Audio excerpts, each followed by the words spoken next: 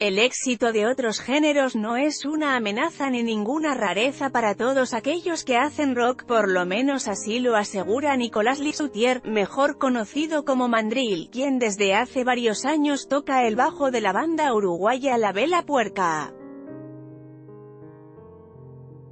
El músico explicó que en la historia de la música, el rock siempre fue minoría, el pop sin duda ganó siempre.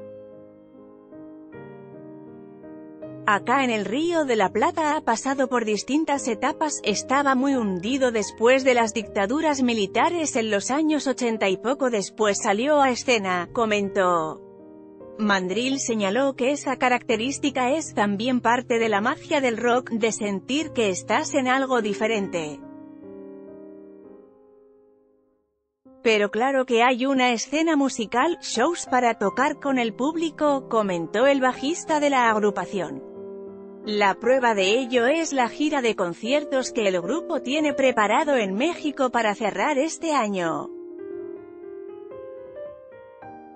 La Vela Puerca estará el 7 de diciembre en el Plaza Condesa de la Ciudad de México, mientras que un día después llegará a Guadalajara para presentar Destilar, su séptimo disco de estudio.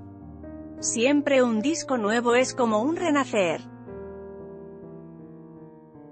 Justamente veníamos de celebrar los 20 años del lanzamiento del primer disco de la banda, y con esto es como cerrar una etapa, un círculo porque ahora estamos como con un hijo nuevo, dijo.